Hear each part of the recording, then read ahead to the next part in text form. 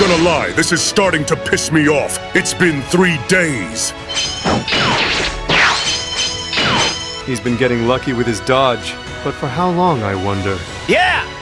Wait! Weeds, where the frick were you when I was summoning? Huh? It's no use. With my 70% dodge plus 20 dodge potential build, not even the allegations can touch me. If that's the case, then I'll just nullify dodge.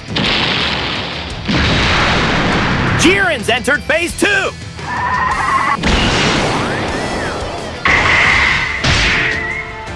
Did he just dodge plus counter? So that's the 2024 power creep. It seems we've been surpassed on DaTruth's tier list. What just happened? He's completely broken! He's popped his active skill. He's reached the true state of Transcendent Divine Power, Goku Ultra Instinct.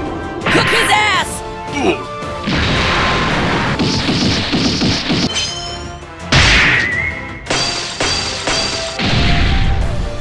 He's gonna solo Agil Jiren! Post the she on Twitter!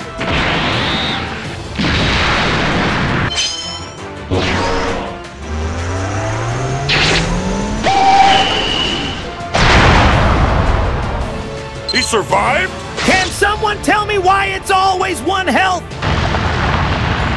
Damn Dokkan devs. Who the frick commissioned this unit?